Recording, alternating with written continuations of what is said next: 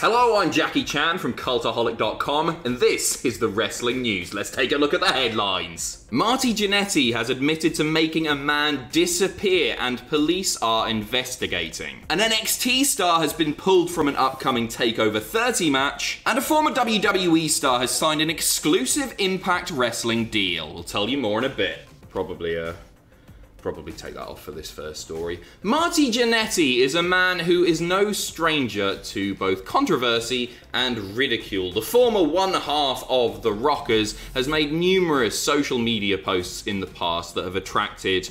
Um, you know, a lot of attention from the wider internet wrestling community, and he is often a man who is poked fun at for his various Facebook posts. You can go and look at those if you so wish, they're all out there on the internet. Um, but this story is about something that he posted yesterday, which is very troubling indeed. I'm going to read Marty's post in full. Make of it what you will. There are a couple of words that I will have to redact as I go along. But Marty Jannetty posting yesterday on Facebook, um, publicly, by the way. I never told no one this, even my brother Gino, because Gino would have killed him, and I didn't want my brother gone. Hell, he'd only recently come home from Vietnam.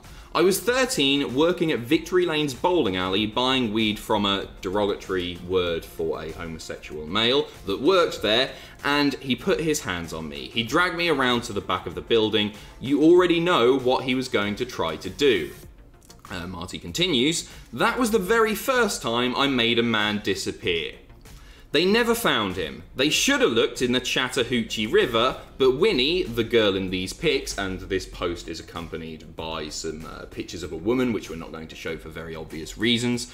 I likes you so damn much. Probably my favourite, but I promised myself way back then nobody would ever hurt me again. That includes you. I loved you, but you hurt me with your effing Jamaican jealousy. You can go your own way.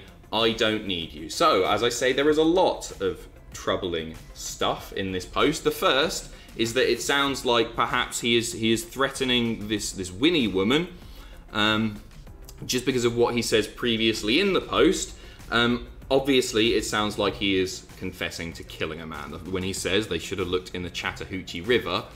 I mean, read between the lines. But also, the, the, the, the, opening of that paragraph there also, that was the very first time I made a man disappear, makes it perhaps sound like he's done this more than once. I mean, this is my own interpretation of the post, um, but as I say, make of it what you will. Um, the police are actively investigating this. Um, so, Columbus, o- uh, Columbus, Georgia police told TMZ that they are looking into a claim Marty Jannetty made on Facebook that he killed a man when he was 13 years old. Um, the comment has since been deleted, um, but obviously it's been screen grabbed and there's a, a, log of it. The department told TMZ that the first step will be seeing if we have any missing persons or unidentified remains cases that match the limited information in the post. Um, it's got to be said that, first of all, Marty Jannetty has made various outlandish claims on Facebook's over the years. And so to take this with a, a massive grain of salt. But um, whether or not it's true, I think it's, it's very clear that Marty Jannetty is not a well man. Um, and I think that's been the case uh, for a long time. I think that's been obvious for a long time, and um, I'm not sure the, the ridicule that he's faced from the the internet wrestling community, and now I, I guess this is going more mainstream, is going to be very helpful for his mental state at all. He is uh, in various shoot interviews, he has made uh, some outlandish and often disproven claims, and he has made so many Facebook posts that indicate that he is not mentally well and realistically is a man who probably needs actual medical support rather than people poking fun at him. This is very, very worrying. Who knows if it's true? It's, it's in the hands of the police now. Um, but I would advise you before you go and, and and, you know make a make a tweet about Marty or, or do whatever, right? Or, or go on Reddit or before you talk about Marty, just think like he's he's clearly not he's clearly not well. Next up, and isn't it a beautiful day in Newcastle upon Tyne? It won't last long, don't worry. Sorry about the change in lighting. William Regal has announced a change to an upcoming match at NXT TakeOver XXX 30. Uh, so William Regal on last night's NXT announced that Dexter Lumis will be unable to compete in the ladder match for the NXT North American title on that show due to injury. So he's he's out with an ankle injury. He's not expected to be out for for too long but you don't really want to be in a ladder match when you've got a poorly ankle, do you? You don't want to be in any match. Um, so, unfortunately, Dexter Lumis has been pulled from that match, which is, is a shame because not only is Dexter Lumis, personally speaking, one of my favourites, my favourite characters on NXT. But also, I thought he was in with a pretty good chance of maybe winning that thing. It's a good match, right? Because you've got so many big stars in there. You will have so many big stars in there a ladder match sort of protects everyone because nobody's getting pinned, nobody's tapping out or anything like that. It's just who can get up there. And you've got a winner, but nobody's getting beat as such. You know what I mean. You know what I mean. Anyway, there's some uh, some changes to some upcoming episodes of NXT. Um, one specifically, rather. Uh, August the 19th uh, will now have. Um, two matches involving the four men that didn't get beaten in the qualifying matches.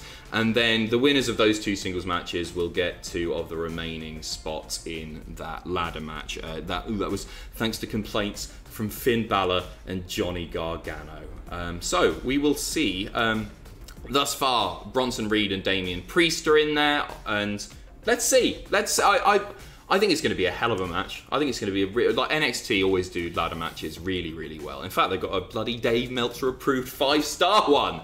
Um, so yeah, I'm, I'm looking forward to it. I think Takeover 30 is going to be fantastic.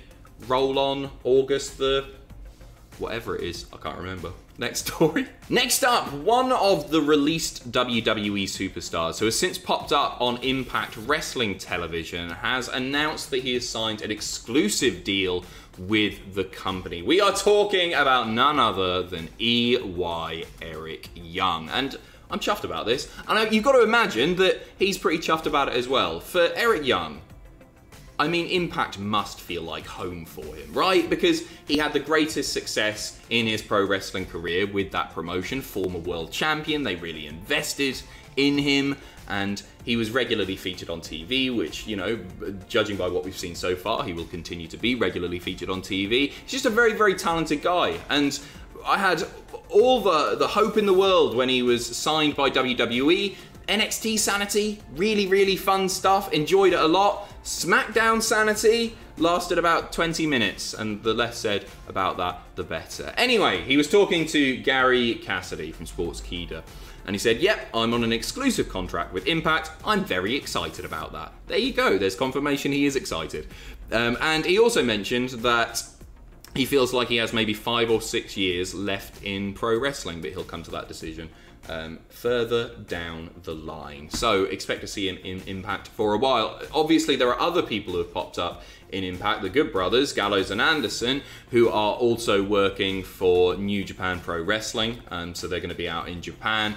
Um, and there's there's belief that some of the other names that have popped up in Impact won't just be exclusive to Impact. But if you want to see EY, then tune in on Tuesday nights. And finally, AEW have launched a new, rather unique subscription service. It's called AEW Heels and it's geared toward female wrestling fans. So you might remember reading about this before. Um, they did a bit of a soft launch earlier this year, and then it was due to launch properly on May 22nd. That didn't happen, it was postponed, and now it's launching properly. There's a big event on Friday, and I'll just go uh, really quickly go through the press release because I think this sounds great. Um, they for $49 a year, members receive access to a variety of features, including virtual meet and greets, video conference discussions with industry experts, exclusive AEW talent Q&A sessions, customized merchandise, special promotions, themed parties, and more. The, the secure space enables AEW Heels members to connect, learn, and thrive together through shared passions for women's wrestling. Um, and then they also mentioned in this press release what the event on Friday, the digital event on Friday, will entail. There's a Q&A with Aubrey Edwards, the referee, the podcast, and works in the office as well. social media strategy session with Brandi Rhodes, and a session on respect and empowerment in the workplace also.